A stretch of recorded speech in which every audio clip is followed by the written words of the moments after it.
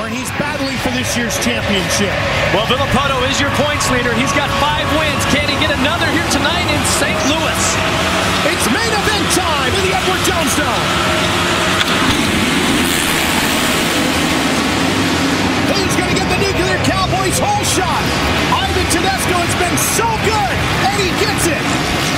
Tedesco on that Huntington number nine. Dungey second, Stewart third. Dungey could really use another win. And the Rockstar Makita Suzuki rider, the factory bike, the reigning champ, already putting the heat on Tedesco.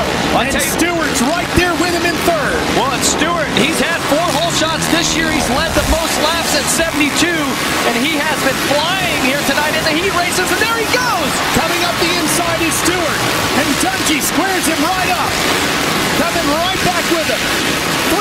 championships between those two riders. And while they do that, Tedesco continues to lead here. Stewart, a two-time champion. And of course, Dungey, the red plate with the white number one, signifying he is the reigning champion.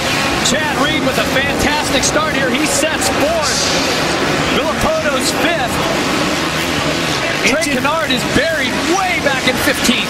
And Jeff, one of the keys to mention here is the fact that James Stewart has not won since Anaheim 2, going back some, what, nine races? Eight races. There he is to And the inside. Stewart back into the lead. Well, Dungey and Reed and the other title contenders are really going to have to get on it because Stewart has been so fast here tonight.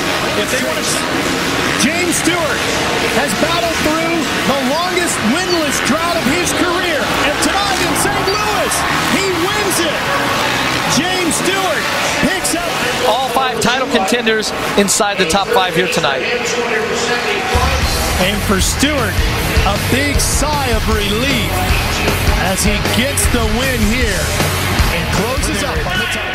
An emotional victory for James Stewart, and what a solid ride it was tonight. James, you haven't won since Anaheim 2, like we had mentioned before. What did you change up tonight to make this happen, and what does this victory mean to you personally? I don't know, you know, just, uh, man, you guys just don't understand. Like, I had a rough time in my life, you know, lately, you know, on and off the track. And, uh, you know, I just want to say thank you to all my sponsors that stuck behind me. All the fans out there, you know, it's, uh, it's pretty, it's pretty tough, you know.